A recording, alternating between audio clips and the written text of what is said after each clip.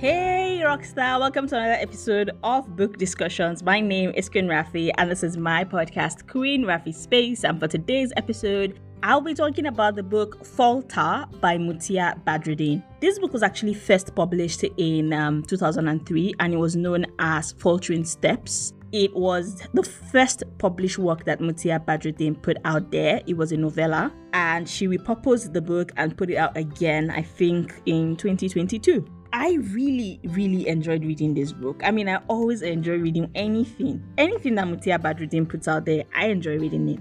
I find it somehow calling just her name because she's like a big sister to me. I enjoy reading anything that Muti'ah Badrudeen puts out there, to be honest. You guys know how much I raved on this podcast about Rekiya and Z. I'm going to put that um, book discussion episode for you in the description so you can go listen to it because Rekiya and Z is a book that everybody in this life needs to read. So let's talk about Falter. Falter is a novel, or should I say a novella, and it is surely a great gift to give to any young Muslimah that you know. You know, it's a book that tells the story of Yewande Ayoade, who is a Muslim girl who, despite having the quote unquote soft life, is quite dissatisfied and decides to seek a deeper meaning of life.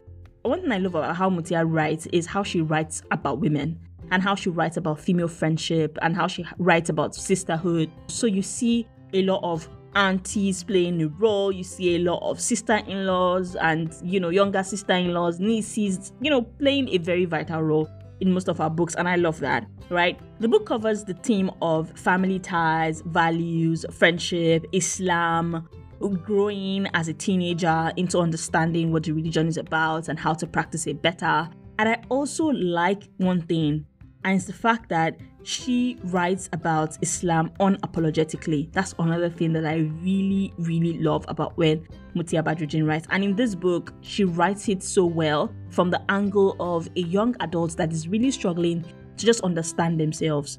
One thing is sure, whether you are born in a Muslim home that is a practicing Muslim home or the one that is not exactly a practicing Muslim home, at some point in life, we all tend to find Islam for ourselves.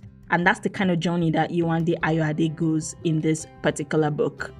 One thing that is also very important is that Muti'ah never fails to bring the thought of death to her books. And it's because death is the one thing that is very constant in this life. We are all going to go through it. And she reminds you that life is short and thus one cannot delay repentance and returning to Almighty Allah as soon as possible. As a Muslim, you would thoroughly enjoy reading this book, and I hope that it would give you an insight that helps you to move closer to Almighty Allah, to discover Him again, and even if you've discovered Him, to discover Him even more. And if you have a young adult, you know, in your life, or a young teenager, or even somebody in their young 20s who you would really love to gift a book to, or who you know that is a reader and is a young Muslim, I think this book would definitely be a very good gift to give to them. It is such an amazing read. I enjoyed reading it. I loved it. I can't wait for Muti'ah Badrudeen to write something else. Calling her Muti'ah all through this episode was hard because that's my big sis. that's my big sis, but it is what it is. Thank you for writing, sis, and I cannot wait to read something more.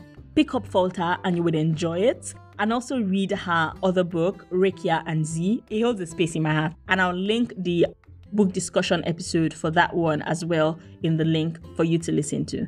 Thank you so much for listening to this episode, and thank you, Muti'ah Badrudeen, for writing. Please write another book soon. Thank you.